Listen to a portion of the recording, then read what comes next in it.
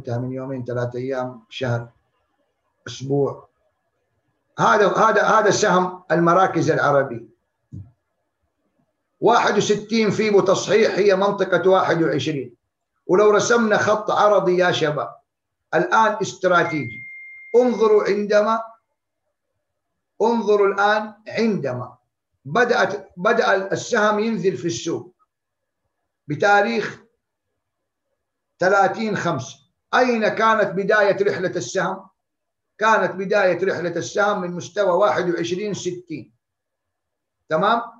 لاحظوا هنا لما نزل في كورونا ترى ما قفل إلا في شمعة مارش وعلى طول رجع فوق الخط العرضي ده المنطقة دي شوفوا سبحان الله الآن مع اتجاهنا الهابط نحن الآن على أعتاب هذا الخط وعلى أعتاب 61 فيبو يعني ممكن يكرر نفس الحركات البربسة وينزل تحت الخط ممكن نحن نبرره لعله لاختبار 21 طيب ولو جينا رسمنا قناة هابط جينا قلنا له أعطينا قناة.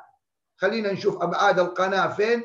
سنجد أن أبعاد القناة حتى ممكن ما توصل 21 أو لو وصلت 21 فأنت على حدودها الاستراتيجية. وهذا يفترض أنه يكون على الأقل هو أهم دعم كسره طبعا مزعج والإغلاق تحته. شوفوا يا أخوان طالما في قناة أنت في وسطها فالتداول صالح في السهم.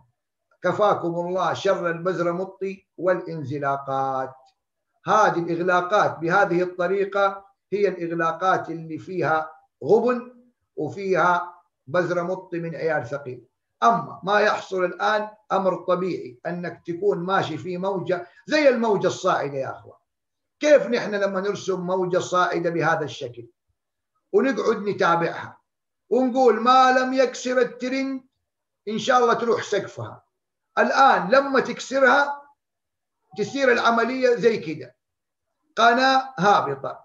ما لم آه ما لم تخترقها دائما تصور إنك ترجع من قاعة وانتبه من كسر قاعة. هذه اللعبة كلها بكل بساطة. بس أنت حاول إنك تنظر لها على اليومي بشكل عشان تساعدك آه يعني مضاربيا أكثر.